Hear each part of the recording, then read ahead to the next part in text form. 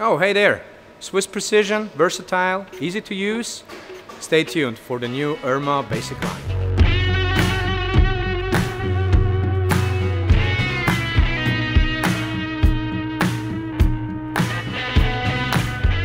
Hey, hi.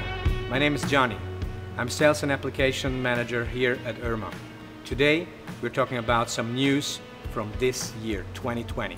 I'm going to show you the new Gamma line. We call it the Basic line.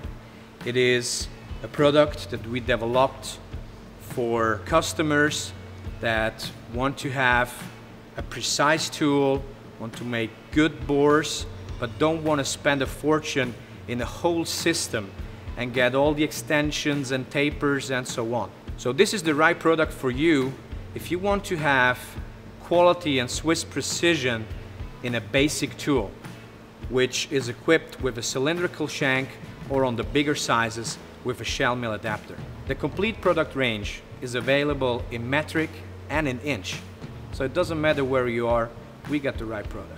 Our diameter range in fine boring starts from 0.2 millimeters up to 297 millimeters. In roughing, we start at 19.5 millimeters up to 297 millimeters.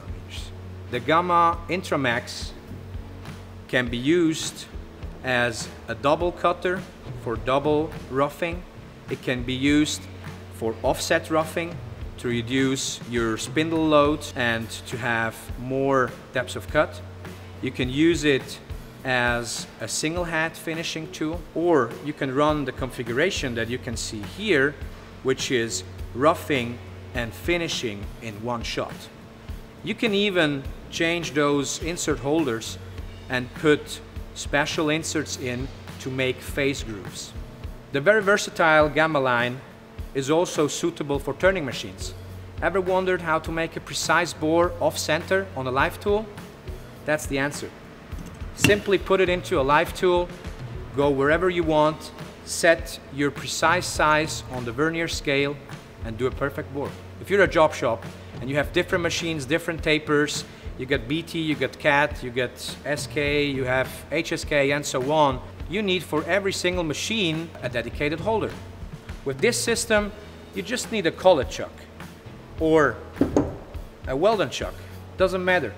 Just something where you can clamp a cylindrical shank. And come on, everybody has a chuck like this. On the bigger sizes, we even included a support nut. This support nut helps to stabilize your tool for bigger diameter and bigger depths of cuts. How it works? Very easy. You just tight your tool into your holder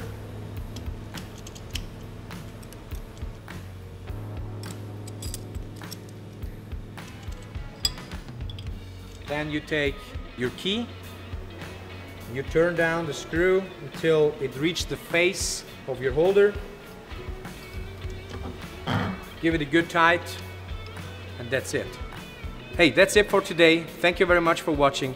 If you like those kind of videos, let us know. I'm Gianni, stay tuned.